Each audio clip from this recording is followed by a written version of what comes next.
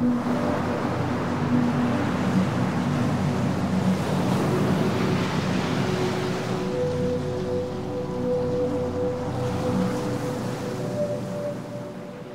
investments, engagements, and interest of the valuable resources the seabed has to offer is increasing.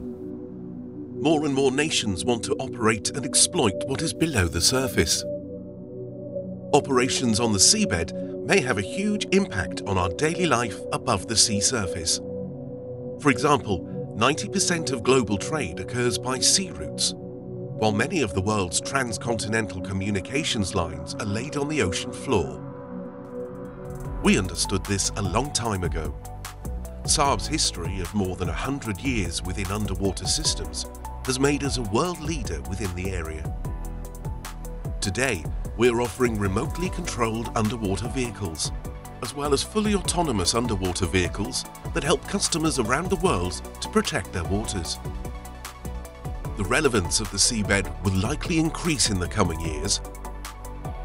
With our knowledge and expertise, we are able to offer solutions that keeps our world's seabed safe.